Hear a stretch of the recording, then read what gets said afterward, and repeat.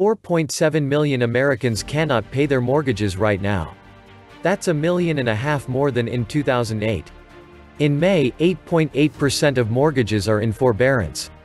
One-third of the American tenants stopped paying their rent. Millions of Americans unable to pay May's rent and mortgage, up to 30% of all mortgages will default in biggest wave of delinquencies in history. The mortgage market is on the verge of collapse. The mortgage crisis has begun, with mass foreclosures and mortgage market mayhem. Americans affected by the coronavirus pandemic are struggling to pay their rent when they have lost income. More and more tenants are protesting, paying their rent. Missed rent, in turn, adds up to landlords who can't pay their mortgages or property tax. And then cities and states will struggle to provide the basic services that tax payments fund. Tenants can't pay their rent. Then owners can't pay their bank mortgage. Then the banks collapse. Welcome to the future, folks, and what about the Ponzi scheme that allowed the mortgages to exist at all? A Ponzi scheme with no incoming payments collapses. And that is exactly what is going to happen. But don't worry, the bank executives will be just fine. The economy's dead, and as is standard practice these days, the autopsy report will make no mention of pre-existing conditions or diseases, it will just say corona. In Los Angeles County, they announced tax increases starting June. So a bunch of people lost their jobs, and oh yeah, your taxes have gone up. It is insane that construction workers pay more in taxes than Amazon or Jeff Bezos, who's worth around $130 billion. State and federal government tax everyone at an average rate of 7% on everything. Corporations get their money from the exploitation of the working class labor. Large corporations got their tax breaks even when the economy was booming. Ordinary folks can't get a break even when they can't pay. April and May are pretty irrelevant. The crisis has barely even hit. Just wait and see how those numbers change in the next few months after the real fallout from this crisis hits and after the unemployment money potentially runs out. The first $2.2 trillion bailouts will take us out to about the beginning of summer. Then what? In the coming months, there's going to be a wave of defaults within 6 to 8 months that will make 2009 look like a blip. Skid rows will be created all over America. Even before this crisis, a lot of Americans were living paycheck to paycheck. Some were spending more than half of their take-home on rent alone. Now that they're stuck at home and don't know when they'll get back to work, they've got some tough choices to make. More than 38 Americans have filed for unemployment since mid-March leading to long lines sneaking into food banks from coast to coast and rent strikes across the country, from New York to Los Angeles. More than one-fifth of Americans said they had little or no confidence they can pay the next month's rent or mortgage on time, a survey found. In April, we witnessed the largest single-month jump that has ever been recorded. Mortgage delinquencies surged by 1.6 million in April, the largest single-month jump in history, according to a report from Black Knight, a mortgage technology and data provider. The data includes both homeowners past due on mortgage payments, which aren't in forbearance, along with those in forbearance plans and who didn't make a mortgage payment in April. At 6.45%, the national delinquency rate nearly doubled from 3.06% in March, the largest single-month increase recorded, and nearly three times the prior record for a single month during the height of the financial crisis in late 2008, Black Knight said. Frustrated and struggling Americans took to the street across the country in rent strike as bills come due, and families face hard choices. Many states have suspended evictions or foreclosures during the pandemic. The governor of New York said, there's a moratorium you can't evict anybody for three months. California and many other states and cities have followed suit, pausing evictions for the next two to three months. A growing movement is now calling for a rent strike.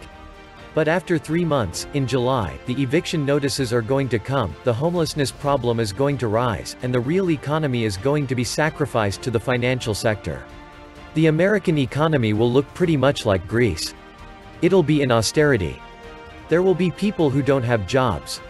They are going to be evicted from their apartment. They will have to run through the savings. They will not be able to pay their credit card debt and other debts. So arrears are going to rise, and the banks will be squeezed. And Trump says the one thing we can't save the people, but we can save the banks. The Federal Reserve has enough money to keep all the banks afloat even if they're not getting the mortgage payments, even if they're not getting the debt collection. And the banks can now make up for the money they're not getting by having a huge new market lending money to private capital and to the large companies to buy out all of these small businesses that are going under. It's a bonanza. And that's what Trump said that'll make the country rich again, meaning the 1%. Not a problem when the government prints money, and the peasants don't have to rely on the elites to lend to them.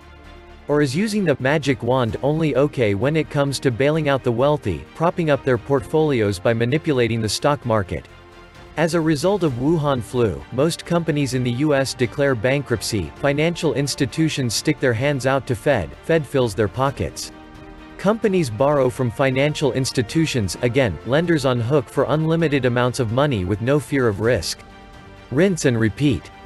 The Fed balance sheet, the one we get to view, will be 12 to 18 trillion in the next 6 to 12 months. All hands on deck to keep the stock and bond market from imploding.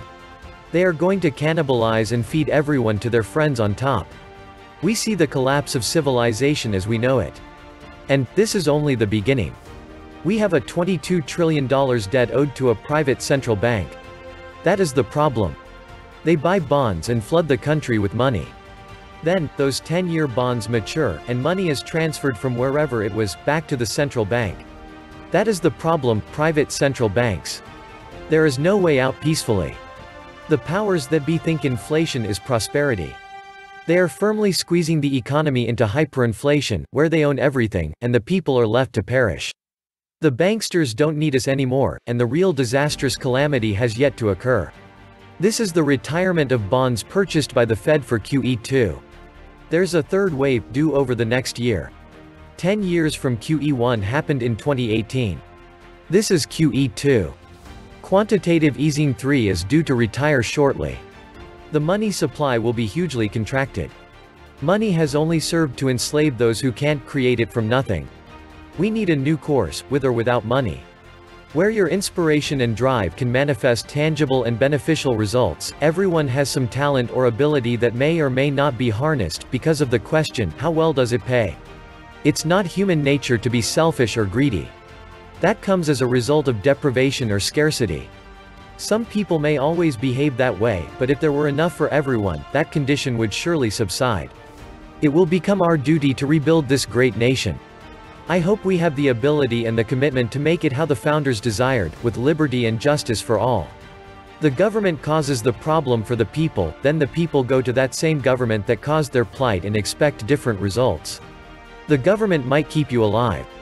But only self-sufficiency and your own critical thinking will turn lemons into lemonade. Welcome back to the Atlantis Report. You are here for your daily dose of the truth, the full truth, and nothing but the truth. What is clear is that Americans don't have savings. That most Americans are living paycheck to paycheck. Half of Americans have less than one month's savings. Even small business owners and entrepreneurs. We have the lowest minimum wage rate in the world. Things continue to get more and more expensive, yet wages never go up. For decades you lose if you have savings. Cash devalues 2 to 3% per year from inflation pre-corona. The only yield for commoners to keep up was gambling in the stock market. Now that's demolished and pilfered. Rip-off capitalism for the dollar printers and lenders, lending what they print that costs nothing, and theft of time and resources from the serfs. This is feudalism 2.0. The message from state governments to all business owners large and small is, you exist at our pleasure, and we can cancel you in a minute. You will kowtow, or you will not have a business anymore. I believe that was also the arrangement under feudalism. We destroyed that paradigm when this country was founded. Now we have reverted to it. What in God's name happened? Two-thirds of landlords are renting rooms or one standalone house. They are not rich. The government is the cancer, no matter the form. Anyone who is a landlord knows the precise point, people dealing directly with people can figure everything out. The Hobbesian view of every man against every man is pure nonsense, as man's default condition is one of mutual cooperation. Of course, bad apples exist, but if Hobbes was right, humans would have gone extinct millennia ago. Government creates the discord, not people entering contractual, voluntary relationships. What we have now is socialism for the corporate welfare bums and debt for the slaves, which doesn't work either. Large businesses own the state. They use it to crush the competition. This means that the banks and government will be the major owners of real estate in this country. The end result is the Fed, a private bank, buys the property for pennies on the dollar. Why is it landlords and lenders who get jacked? Most landlords are just regular businessmen too. And, keep in mind, the landlords will still have to pay the property tax to the group which is the lion's share of every payment anyway. Landlords will default. How can they pay taxes under such extremities? The government wants to own everything. This is communist. The only ones buying will be banks. In the end, banks will own everything, and everyone else will be a serf, and they will be your lords. The banks get your property, that was the plan, part of the pandemic. The banks bleed you first, then take the property. 30% or more of mortgages could easily be in a state of default by the time this is said and done. Try kicking one third of the country out of their homes. You'll have a population that is no longer fat, happy, and comfortable. That's when you have to worry about the boogaloo. Whatever they do, they will never let the markets clear on their own. Never let anyone go broke again, least of all the banks. Never let the debt Ponzi end. Never let anyone who has been fiscally responsible with their life or business have a shot at succeeding when others less responsible fail. Never let anyone get ahead in society by their own effort and intelligence. Never let consumers decide what they want to buy with their own money, nor producers provide it for them of their own free will. Never let anyone who defers immediate consumption in favor of profligate spending be allowed to gain by their behavior. The sad part is that bankers would rather evict you and have the property vacant and rot than negotiate a much lower rent and forbearance. We did bailouts in 2008 and crossed that moral hazard again when the government and Fed literally handed out 6 trillion and counting this time around. I think only 500 billion went to the plebs. Time for a debt jubilee. Wall Street essentially gets at least once a decade. Now it's the tax slave's turn. I am, like you fiscally conservative and have virtually no debt, but my sense of fair play says it's time. Time for a debt jubilee and a return to honest money, although I am sure that the debt shackles ain't coming off serfs without a big fight.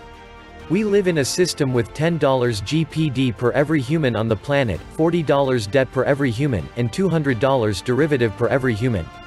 It is unsustainable, and now with Wuhan's plague irreversible that we are at the endgame. It may take a decade, but endgame it is. And fine by me, debt should be something you are scared off. At the end of the day, it's mathematics.